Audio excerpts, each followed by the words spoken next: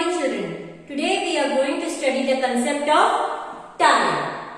A clock tells us the time. The face of the clock has 12 numbers. How many numbers are there in a clock face? 12.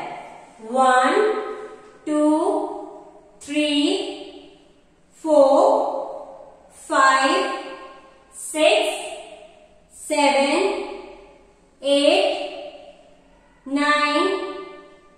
10, 11, 12. It has two hands, one short and one long. How many hands are there in a clock? Two hands. One short and one long.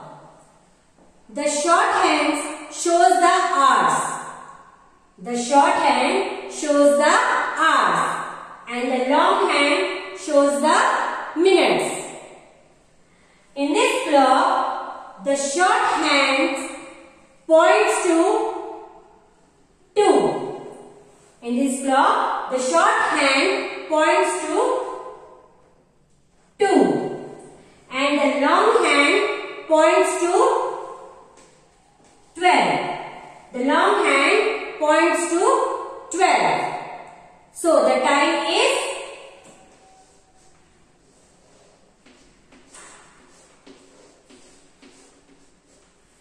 two o'clock. The time is two o'clock. Now let's do one more example. Two hands are there, one long and one short. The short hand points to number 3 and the long hand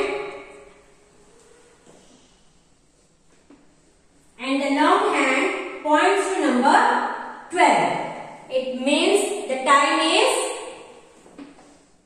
3 o'clock. Thank you.